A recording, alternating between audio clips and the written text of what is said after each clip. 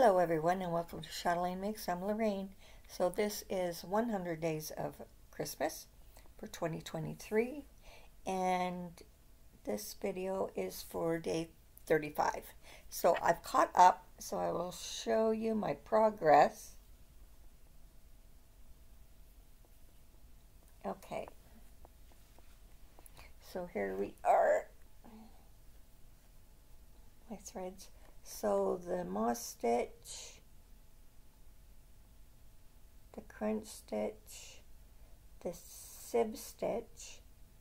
So I finally ran out of that this yarn this yarn here that I'm not too um it wouldn't be my first choice.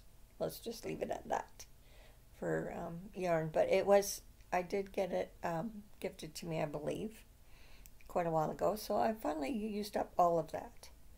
And then I just grabbed the um, extra balls that I had put in the bag.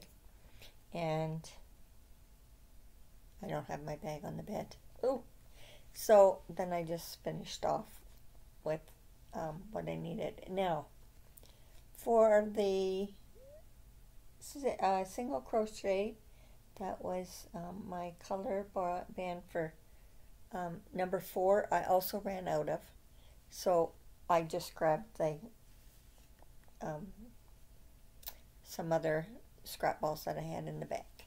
So this is what I have so far. Oops. There we are. Okay.